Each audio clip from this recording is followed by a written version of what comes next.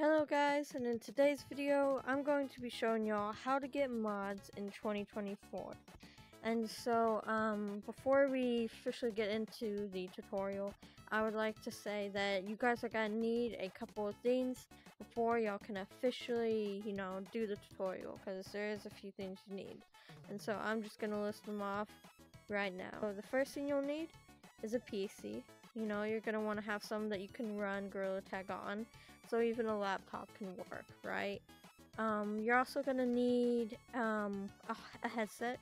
You know, it can be a Quest, it can be a Valve Index. It doesn't matter. You just need a headset.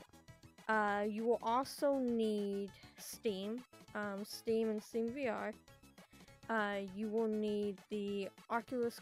You'll need the Meta MetaQuest app on your PC, the PC version and you will need 20 bucks to buy Gorilla Tag because it does cost money on Steam, but it is worth it. You can get all the free mods you want, and then you can get 5,000 free shiny rocks, basically. Not free, but you can get 5,000 shiny rocks along with it. So if you ask me, I think that's fair, especially with like the legal mods, like the Bark mod menu.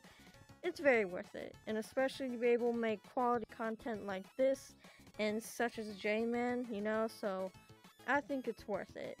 So if you guys do have all of that, then we're gonna go ahead and get right into the tutorial. Alright, so the first thing you're gonna want to do is you're gonna want to, you know, log in or sign up for Steam and you're just gonna want to make sure that you have it downloaded and everything and you're gonna want to look up Gorilla in the search bar and as you see it does cost 20 bucks. But the good thing is is that when you buy Gorilla Tag you get 5,000 shiny rocks and you get all the mods that you know you can add on to Gorilla Tag you know? So we're gonna get to that now but I just want to say that if you are worried about if it's worth it or not it, it is in my opinion. So you know just do the research yourself and you know go from there. But the next thing you're going to want to do once you do that, you got Gorilla Tag downloaded, you got Steam up, you're going to want to go to your search bar, wherever it may be, and look up Monkey Mod Manager. And as you can see, I already have it looked up. So you're just going to want to look up Monkey Mod Manager download, you know, or just Monkey Mod Manager, and go to the first link. And I also have this stuff linked in the description if y'all don't want to do this, but you're just wanna gonna go down to assets and then download it to your downloads, install it to your downloads, and we're gonna open up the folder, and then once you open it, you see here, okay, yeah, that's not good. Uh, you see here, you got plugins and utils. I'm gonna get to that utilities. I'm gonna get to that in a second. But when it comes to plugins, all you want to do mainly is just download um, Utilla.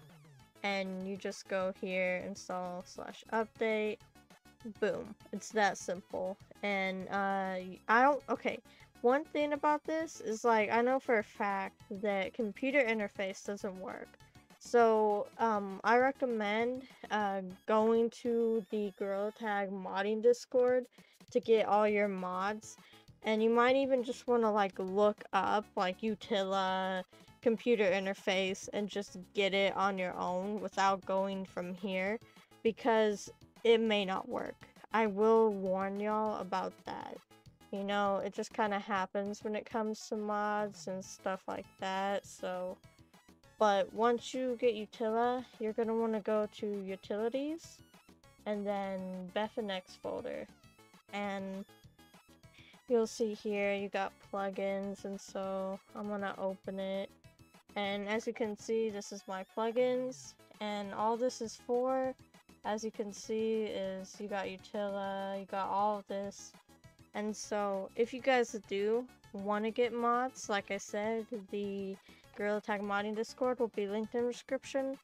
Or you guys can go check out the videos that I've done on these two mods. If you go to the search bar, you can just, here, let me, you can just look up, like, Bark mod menu, and you can find it easy like that, or you got the modding Discord. So you got a lot of options when it comes to where you can get your mods. I recommend GitHub or the modding Discord. Uh, I just want to clarify something. Um, GitHub is where all the mods are. Um, when it comes to the modding Discord and like where I get my mods, it's all from GitHub. So no matter what, GitHub is going to be where you get the mods. But there are certain um, videos that you can find on the internet where it will take you to them without you actually having to look them up. So I just wanted to clarify that. Um, GitHub is the main place, but there's different ways you can get to GitHub, you know, besides just going straight to it. So I just want to clarify that.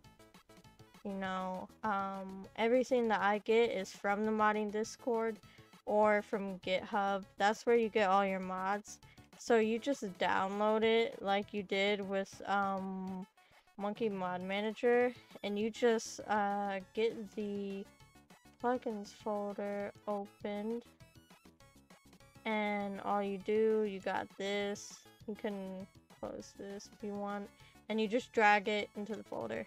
So uh, that's what you'll do. So once you get all the mods you want in the folder and you know that they work, all you're going to want to do is you're going to want to install an update. If I open Monkey Mod Manager again, you'll just hit the install and update once you put the mod in the folder. So I'm not going to mess with any of that since my stuff's already set up.